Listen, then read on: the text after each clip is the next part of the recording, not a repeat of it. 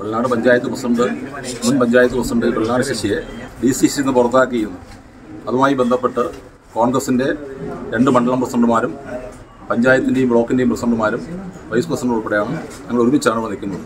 വെള്ളനാട് പാർട്ടിയിൽ നിന്നും ഒരാൾ പോലും പാർട്ടി വിട്ട് പോയിട്ടില്ല. ഞങ്ങൾ ഒറ്റക്കെട്ടാണ് എന്ന് തെളിയിക്കാൻ വേണ്ടിയാണ് ഞങ്ങൾ ഒരുമിച്ച് ഈ പത്രസമ്മേളനം നടത്തുന്നത്. വെള്ളനാട് സർവീസ് സഹകരണ ബാങ്കിലെ തെരഞ്ഞെടുപ്പുമായി ബന്ധപ്പെട്ട് ഈ പറയുന്ന കക്ഷി നേരത്തെ ഇപ്പോൾ സർവീസ് സഹകരണ ബാങ്കിന്റെ പ്രസിഡന്റും കൂടിയാണ്. അവിടെ നിയമനവുമായി ബന്ധപ്പെട്ട് ഹൈക്കോടതിയിൽ അവിടെ ഞങ്ങളെ മണ്ഡലം പ്രസിഡന്റ് ശ്രീ വിമൽ കുമാർ ഒരു പരാതി കൊടുത്തിട്ടുണ്ട് ഹൈക്കോടതി. ഹൈക്കോടതി അത് ഇവിടുത്തെ ജോയിന്റ് രജിസ്ട്രാർക്ക് തിരുവനന്തപുരം ജോയിന്റ് രജിസ്ട്രാർക്ക് അന്വേഷണം നടത്തി വിധി കൽപ്പിക്കാൻ വേണ്ടി തീരുമാനിച്ചിട്ടുണ്ട്.